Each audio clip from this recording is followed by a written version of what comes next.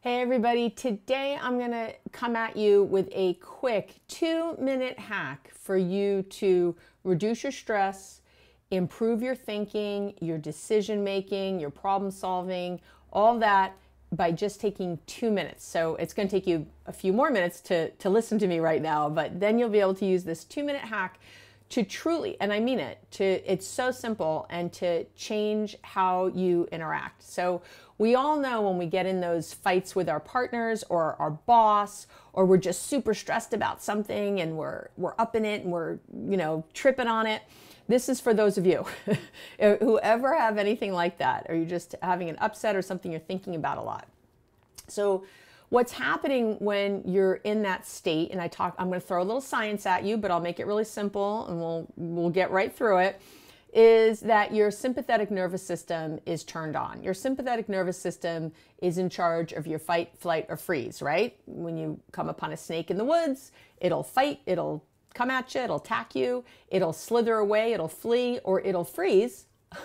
It'll hope the danger will pass and get very still you do one of these things. You start to fight, or you run away, or you freeze, hoping, you procrastinate, you say nothing, yes, dear, whatever, becomes your decision. And what's hard is that when we're in that state, we can't access that part of our brain that problem solves, that thinks things through, our long term planning, our all that good stuff that we need. We can't like think of it. We can't access it. And you know this, this is happening to you because two hours after an argument, you go, Oh, I should have said X, or Oh, I wish I had said Y, or I, I'm so upset that I, why did I think this? And we do that because of this way our body works. So, what we've got to do is actually change our physiology first. And there's a way to do that that's really simple. And it's by turning on something called your vagus nerve. And your vagus nerve is basically um, how can I say it? It's like it's the really the the the prime the main driver for your something called your parasympathetic nervous system. And your parasympathetic nervous system's job is what we call the rest and digest. Uh, so that's you know when you're calm and you're just eating and you're fine and you know you're resting and you're in that nice space. Or we also now call that part the parasympathetic nervous system our tend and befriend. Uh, this is when, when we were back in the clan, when we would uh, want to have close relationships with other people and we'd want to connect, and, and we still want those things, right? But we especially wanted it then for survival. And uh, today, uh, you know, that's really why it's a prime driver. So we want that parasympathetic nervous system turned on as much as possible. Makes sense, right? And you already know this. When you get really upset, you're not hungry, your stomach kind of drops out, you feel nauseous, maybe sweaty, uh, shaky, any of those things. That's all because of this sympathetic nervous system being turned on. And you start to get stress inducing hormones that flood into your system, such as cortisol. I'm sure you've probably heard of that. Well, when you uh, activate your vagus nerve, this part of your parasympathetic nervous system, when you activate it, you shut down all that other stuff, all that craziness, and you actually get in a different state. And, and there's some brand new research that's come out.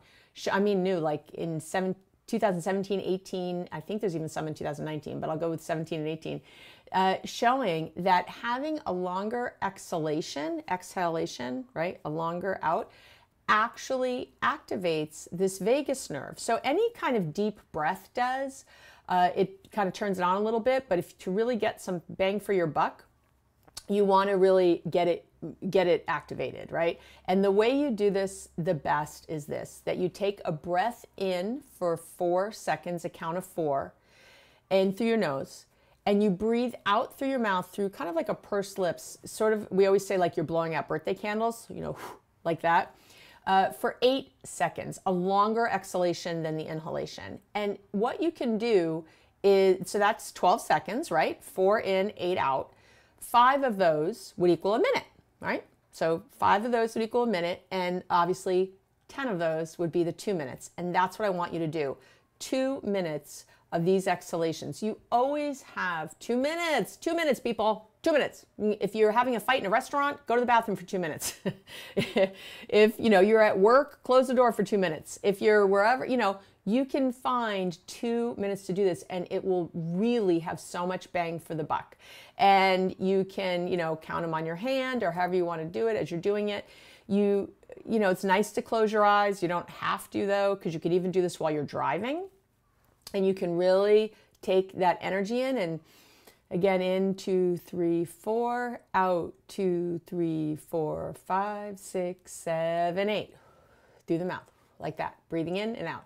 Do that for two minutes, and you'll stimulate that vagus nerve, and you'll actually feel calmer. You'll reduce your stress, your ability to problem solve, to think clearly, your cognition will go up, your decision making, all of that in just two minutes. So there you go.